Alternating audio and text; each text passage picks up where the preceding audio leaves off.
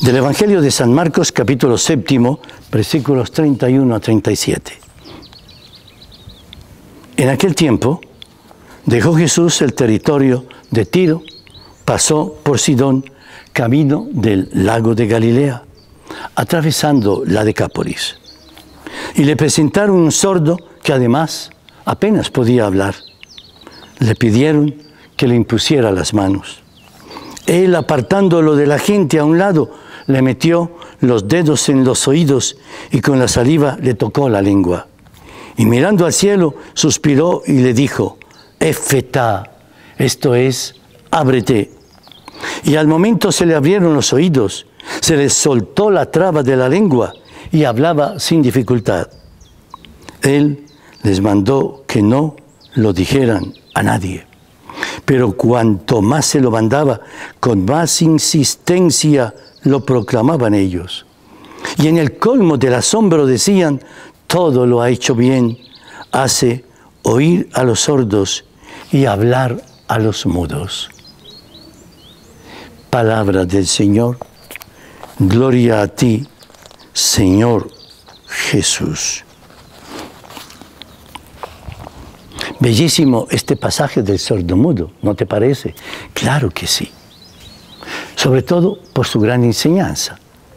Tiene como dos partes. La primera es Jesús, entonces, que con su acción, con tocar a aquel hombre, entonces le devuelve el oído y por lo tanto su lengua se suelta, porque casi que la lengua es como un, eco de lo que recibe nuestro oído.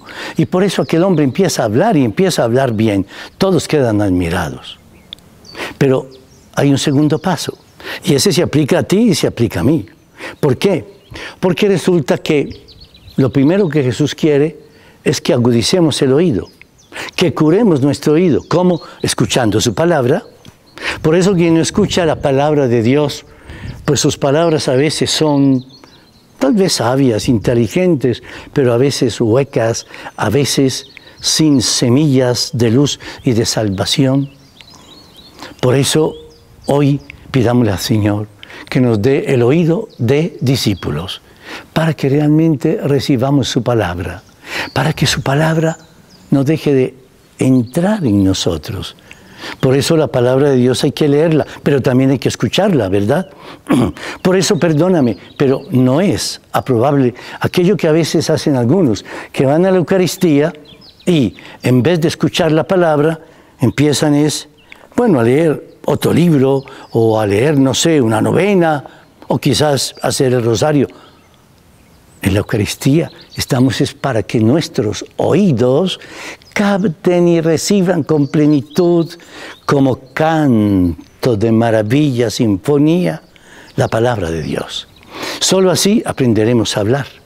Si tú escuchas la palabra de Dios, te lo aseguro, tu palabra con tus hijos cambiará. Ya no los vas a gritar, ya no los vas a decir inútiles, ya no les vas a decir estorbos, ya no les vas a decir tantas cosas, los vas hasta bendecir.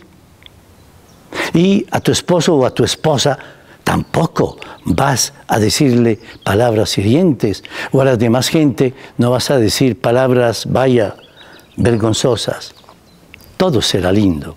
Tu boca lanzará palabras de bien si escuchas las palabras maravillosas del Señor.